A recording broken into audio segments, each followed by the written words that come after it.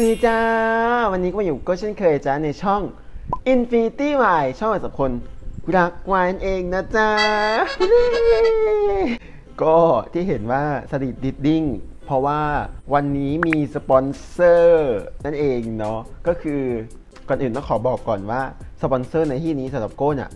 มีความหมายว่าแบบเป็นผู้สนับสนุน เป็นผู้ที่ส่งนิยายให้โก้ เป็นคนที่จ้างโก้รีวิว เป็นคนที่อะไรต่างๆ นานาให้โก้นั่นแหละเนาะ ก้เลยนับเป็นสปอนเซอร์ ซึ่งวันนี้เนี่ยสปอนเซอร์ของเราเนี่ยก็เป็นนิยายหนึ่งเล่มนั่นเองเนาะซึ่งก็เป็นความสุขเล็กๆ น้อยๆของโก้นั่นเองเนาะแล้วก็วันนี้เนี่ยก็มารีวิวนิยายวายซึ่งนิยายวายที่โก้ได้มาเนี่ยโก้ได้มาจากพี่แบมแบมก่อนอื่นต้องขอเท้าความก่อนว่าทำไมถึงได้มาจากพี่แบมแบมได้แต่ประมาณนี้เนาะ ย้อนไปเมื่อ 3 เดือนที่แล้วเมื่อสามเดือนที่แล้วซึ่งมันก็นานอะเนาะ พี่แบมแบมเนี่ย ได้ติดต่อโก้มาที่กล่องข้อความหรือทางเพจ Infinity Y เนี่ย ใน Facebook เนาะซึ่งติดต่อมาขอบคุณที่โก้รีวิวนิยายให้พี่แบมแบม ซึ่งรีนิยายที่โก้รีวิวให้พี่แบมแบมเนี่ยคือโก้รีวิวตั้งแต่ปีที่แล้วแล้วคือเป็นเรื่องกับดักแพนกวิน ซึ่ง เขาเพิ่งมาเห็นแล้วเขาก็ส่งของสัมมนาคุณมากลายเป็นนิยายหนึ่งเล่มเนาะแล้วก็เขาเนี่ยก็กำชับมาว่า ไม่ต้องรีวิวก็ได้ เพราะว่าอยากจะให้อ่านเฉยๆแต่ก็อ่านแล้วก็รู้สึกแบบมันสมควรบอกต่ออะเออ มันสมควรบอกต่อก็คงรีวิวอะมันต้องรีวิวอะมานิยายที่ก็จะมารีวิววันนี้ก็คือเรื่อง not you เมื่อผมไม่ใช่ตะเดินตะเดินซึ่งเรื่องนี้เนี่ยโก้ได้ตามาด้วยนะ เป็นตาเห็นไหมซึ่งโก้ก็ไม่ได้ซีเรียสอะไร เพราะว่าโก้ก็ใช้อ่านอยู่แล้ว แต่ก็ก็ไม่ได้ขายเนาะซึ่งเรื่องนี้เนี่ยก็ได้มาเมื่อ 3 เดือนที่แล้ว แล้วก็ก็เพิ่งได้มีโอกาสมาอ่านหยิบขึ้นมาอ่านแบบเออว่างแล้ว ฉันอ่านดีกว่าอะไรอย่างเงี้ยพออ่านปุ๊บก็รู้สึกแบบเฮ้ย ฉันปล่อยนิยายแบบนี้ไปได้ยังไงทำไมไม่อ่านตั้งแต่ตอนที่ได้มาตอนนั้น เออ แล้วคือแบบเสียดายเนาะ แต่ก็ไม่เป็นไรได้อ่านแล้ว ซึ่งเรื่องนี้เนี่ย เมื่อผมไม่ใช่เนี่ยเป็นของสำนักพิมพ์ มีดีนั่นเองเนาะ ซึ่งเอ่อราคาของเขาเนี่ยจะอยู่ที่ 260 บาท เนาะ แต่ก็มาได้มาฟรีไง เออ ได้มาฟรี แล้วก็จำนวนหน้าของเขาเนี่ยจะอยู่ที่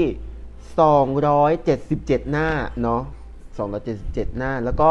ของแถมมี นี่เลย รู้สึกว่าเหมือนก็ได้เยอะกว่าคนอื่น แต่ได้เท่านี้หรือเปล่าก็ก็ไม่รู้ ได้ที่กั้นหนังสือ 2 ลายเนาะเป็นลายพระเอกกับนายเอก ซึ่งก็คือเป่าเป้ยกับพี่เอิงของเราเนาะแล้วก็ได้โปสการ์ด2แผ่นเนาะโปสการ์ดก็ไม่ใช่ลายเดียวกัน รู้สึกแบบ หนุ่มอายุ30อื้อหือหล่อขนาดนี้เลยเลออะไรประมาณนี้เนาะซึ่งเรื่องนี้เนี่ยโคก็ได้ลายเซ็นของพี่แบมแบมมาด้วยนี่ เห็นไหมเห็นไหมก็ได้มาด้วยแหละแล้วก็หาซื้อได้ที่เว็บมีดี หรือร้านหนังสือชั้นนำทั่วประเทศ ไม่ว่าจะเป็นร้านในอิน C1 B2S ก็น่าจะมีลองไปดูนะ ก็ เกินๆมาเยอะแล้วงั้นก็ไปเข้าสู่ช่วงเล่าเรื่องกันเลยให้ได้แล้วก็มาอยู่ในช่วงเล่าเรื่องกันแล้ว ซึ่งก็ไม่รอช้าอะไรทั้งสิ้นเนาะก็จะพูดกันเลย ตัวละครหลักของเรื่องนี้เนี่ยก็หยิบยกมาแค่ 2 ตัว นั่นก็คือพระเอกกับนายเอกเอาเป็นโปสการ์ดดีกว่า พระเอกของเราเนี่ยมีชื่อว่าเอิงส่วนนายเอกของเราเนี่ยมีชื่อว่าเป่าเป้ยอะมาเริ่มที่ spoil กันเลยดีกว่า ซึ่งก็จะ spoil ไม่เยอะ แต่ก็ จะมาพูดความรู้สึกหลังๆด้วยเนาะเริ่มเรื่องของเขาเนี่ยจะอยู่ที่พ่อแม่ของเป่าเป้ยเนี่ยไปขโมยเพชรของตระกูลอารยะเนาะซึ่งตระกูลอารยะเนี่ยเป็นตระกูลของพี่เอิงแล้วก็พี่เอิงพี่เอิญเนี่ยเป็นพี่ชายของพี่เอิงเนาะซึ่งสองพี่น้องเนี่ยเป็นตระกูลที่แบบร่ำรวยมากทำอสังหาริมทรัพย์อะไรอย่างเงี้ยยั่วๆไงเออแล้วซึ่ง พ่อของเป่าเป้ยเนี่ยเป็นคนสวนของบ้านอารยะ แล้วซึ่งบ้านอารยะเนี่ยไม่ค่อยมีคนอยู่ เพราะว่าพี่เอิงกับพี่เอิญน่ะจะชอบไปอยู่คอนโดมากกว่าเนาะก็เลยได้โอกาสที่ติดพนันบอลแล้วก็เลยขโมยเพชรไปขาย แล้วซึ่งแม่ก็ติดพนันเล่นไพ่อะไรเงี้ยก็เลยกลายเป็นแบบหนีไปได้กันสองคนแล้วก็ทิ้งเป่าเป้ยไว้คนเดียวเนาะแล้วเป่าเป้ยของเราก็ตัวคนเดียว ประมาณนี้ หลังจากนั้นเนี่ยทางบ้านอารยะเนี่ยมาเอะใจตรงที่ว่า เออวันนี้ฉันจะเอาเพชร ฉันจะเอาเพชรอ่าที่ฉันเก็บไว้เนี่ยมีมูลค่า5ล้านเนี่ย จะเอาไปให้เพื่อนในงานแบบงานวันสำคัญอะไรอย่างเงี้ย แต่พอมาเอาปุ๊บอ้าวเพชรหาย เพชรหาย เอาจริง ๆ คือเพชรหายแล้วก็สงสัยว่า เออ หายไปได้ยังไง แล้วก็กลายเป็นสืบจนถึงต้นตอว่า อ๋อ พ่อแม่ของน้องเป่าเป้ยเนี่ยเอาไปเนาะแล้วซึ่งจะมาเอาเรื่องกับเด็กเนี่ยก็ใช่เรื่องเนาะก็กลายเป็นว่าเป่าเป้ยเนี่ยโดนพี่เอิงกับพี่เอิงเนี่ย รับไปเลี้ยงทั้งทั้งที่แบบเป็นแบบเป็นลูกของโจรน่ะ โจรที่ขโมยเพชรตัวเองอะ แล้วรับไปเลี้ยงอะ แล้วซึ่งเป่าเป้ยน่ะตอนนั้นคือมีเงินอยู่20บาทอะเออจะหาเงิน5ล้านมาคืนได้ที่ไหน แล้วซึ่งแบบเออก็กลายเป็นแบบว่าเป่าเป้ยก็กลายเป็นคนสวนคนใหม่ของบ้านอารยะไป แล้วซึ่งเรื่องราวของเขาเนี่ยก็จะกลายเป็นแบบว่าเป่าเป้ยเนี่ยได้เริ่มใกล้ชิดพี่เอิงของเราเนาะพี่เอิงพี่เอิง เป่าเป้ยเนี่ยได้เริ่มใกล้ชิดพี่เอิงของเราในวันที่เป่าเป้ยเนี่ยได้ไปทำความสะอาดอยู่คอนโดพี่เอิง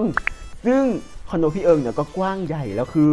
มันกว้างแล้วก็หาไม่กวาดไม่เห็นอะไรประมาณอย่างเงี้ยเนาะซึ่งเป่าเป้ยของเราก็เป็นแบบเด็กอายุ 18 ที่แบบน่ารักน่าเอ็นดูตะมุตะมิซึ่งนางน่ะก็เดินหาไม่กวาดอ้อมห้องก็คือ เอ๊ะไม่กวาด ไม่กวาดอยู่ในไม่กวาดอยู่ในแล้วคือสมัยเนี้ยเขาใช้เครื่องดูดฝุ่นกันแล้ว แต่เป่าเป้ยไม่รู้ไงเป่าเป้ยไม่รู้ว่ามันมีเครื่องดูดฝุ่นเออ ก็เลยกลายเป็นว่าเข้าห้องนั้นเข้าห้องนี้ก็กลายเป็นกลายเป็นเข้าไปห้องพี่เอิงเฉยเลยคือ กลายเป็นเข้าไปห้องนอนพี่เอิงอะแล้วคือ อีพี่เอิงน่ะก็นอนอยู่เนาะแล้วซึ่งก็แบบเป่าเป้ยก็แบบโดนดึงแบบโดนดึงไปกอดเลยอะคือแบบเหมือนนอนอยู่แล้วเรามือแล้วแบบ ดึงไปกอดแบบ เออ แล้วก็เรียกชื่อเบฟอย่าดื้อเบฟอย่าดื้อทั้งที่แบบดึงอีเป่าเป้ยมากอดแล้วบอกว่าเบฟเบฟเบฟคือก็ก็พอเข้าใจว่าเบฟในภาษาอังกฤษก็คือแบบบีแบบเบบีอะไรอย่างเงี้ยเออแต่กลายเป็นเบฟเนาะเบฟอย่าดื้ออีกสักพักก็นิวอย่าดื้อแล้วคืออีเป่าเป้ยก็แบบเฮ้อมิวไหนเบบไหน แล้วคืออีกคนที่เธอกอดอยู่เนี่ยคือฉันคือหนูเอออีกคนเธอคนที่พี่เอิงกอดเนี่ยคือเป่าเป้ย แล้วคืออีพี่เอิงเนี่ยก็แบบทั้งจูบทั้งหอมแบบประมาณนั้นแหละเนาะแล้วซึ่งเรื่องราวต่างๆเนี่ยก็เกิดขึ้นหลังจากนั้นก็กลายเป็นเป่าเป้ยเนี่ยกลายเป็นเด็กของพี่เอิงไปในทันทีทันควรเนาะแล้วก็เรื่องราวหลังจากนี้เนี่ยก็อยากจะให้ทุกคนอะไปตามอ่านกันเอาเอง เพราะว่าอ่านแล้วรู้สึกมีความสุขมาก จริงๆ คือแบบ ก็ไม่คิดเลยว่านิยายเล่มเล็ก ๆ อย่างเงี้ยจะสามารถมอบความสุขระยะสั้นให้เราแบบมาก ๆ ของมาก ๆ เลย แล้วคือ การบรรยาย การวางพ็อดการเล่าเรื่องเนี่ยมันแตกต่างจากเรื่องก่อนๆของพี่แบมแบมก็คือเรื่องก่อนๆของพี่แบมแบมในที่นี้ของโก้ก็คือเรื่องกับดักแพนกวินเพราะก็เพิ่งเคยอ่านของพี่แบมแบมเนาะแล้วซึ่งเรื่องกับดักแพนกวินน่ะจะเป็นการบรรยายแบบ smooth nerd แบบเนิร์ฟยาวไปเลย แต่อันนี้คือแบบมันมีโพลกราฟแบบ ขึ้นลงขึ้นลงเลยประมาณอย่างเงี้ย เออ แล้วมันก็แบบ เออ มันดี แล้วก็ภาษาที่เขาใช้เนี่ย ถึงมันจะเป็นนิยายแนวผู้ใหญ่อะเอาตรงๆก็คือ อีพี่เอิงของเราเนี่ย อายุ 35 แล้ว